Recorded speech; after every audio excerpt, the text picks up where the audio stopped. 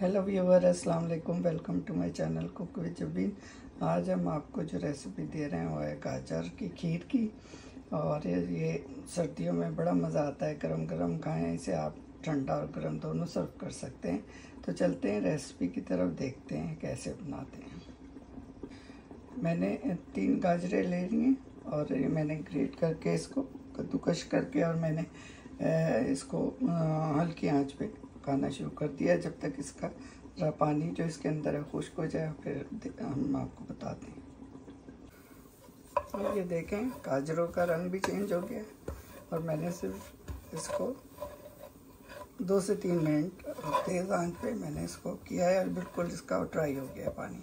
और अब हम डाल देंगे इसमें मिल्क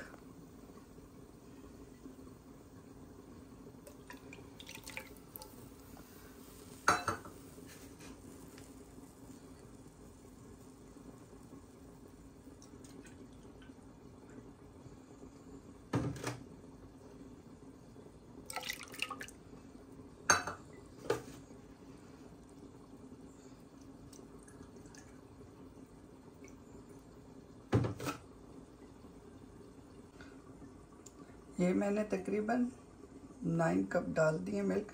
ये जो मेज़रमेंट वाला होता है। और अब इसको बॉयल आने देंगे। तेज़ आँच पे पकने देंगे इसको और बॉईल आने देंगे।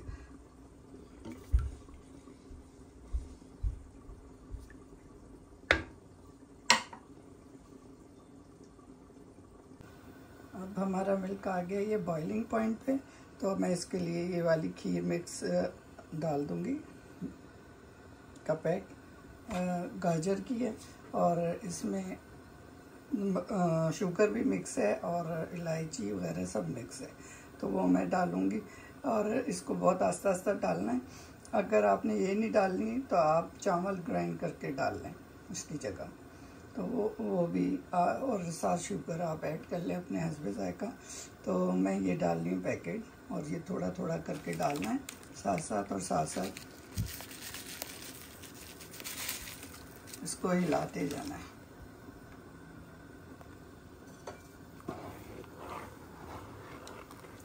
हिलाना नहीं छोड़ना इसको,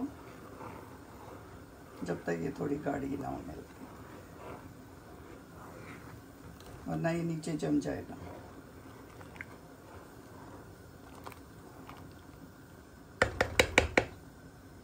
इसी तरह थोड़ा थोड़ा करके डालते जाना है और हिलाते जाना है।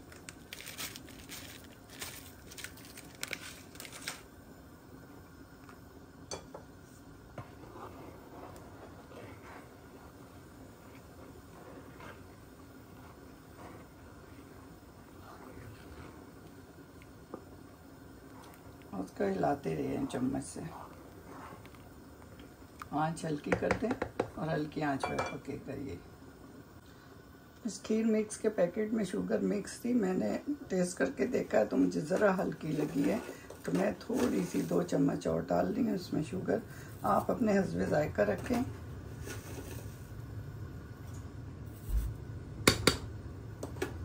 और इसको हिलाते रहेंगे जब तक बिल्कुल हल्की आँच पे पकेगा। तो ये गाढ़ा हो जाएगा।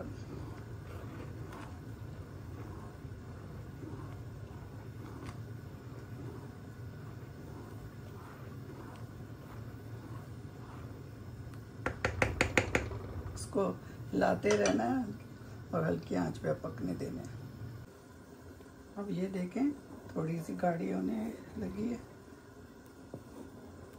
और जब तक गाढ़ी ना हो, आप जितना भी गाढ़ा रखना चाहते हैं बहुत ज़्यादा थिक ना रखें, क्योंकि बाद में ठंडा होने पे और भी थिक हो जाएगी।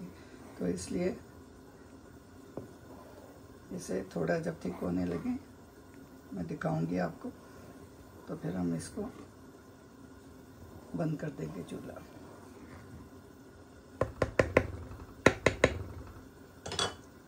अब इसमें मैं डाल दिए रेजन्स।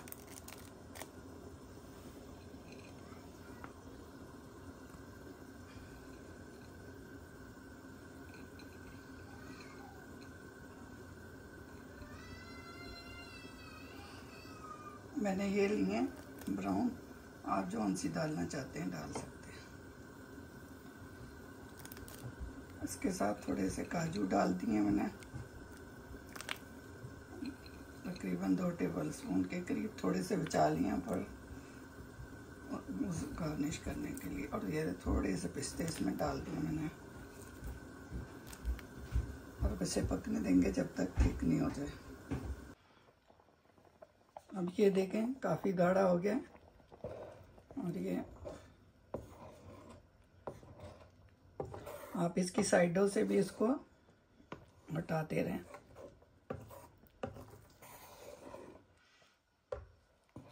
और अब इसको हम निकाल लेंगे, डिश आउट करेंगे।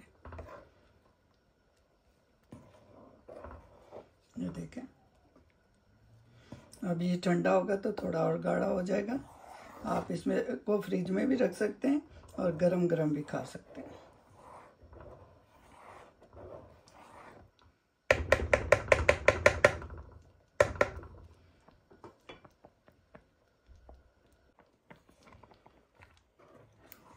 ये देखिए, हम बिल्कुल ये रेडी डिश आउट करने लगे हैं इसको।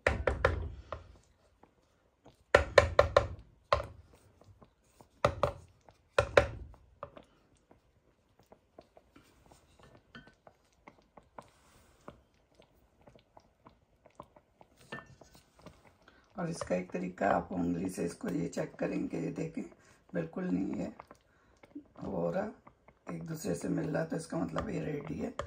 अब खीर हमारी और ये हम इसको डिश आउट कर लेंगे ये देखें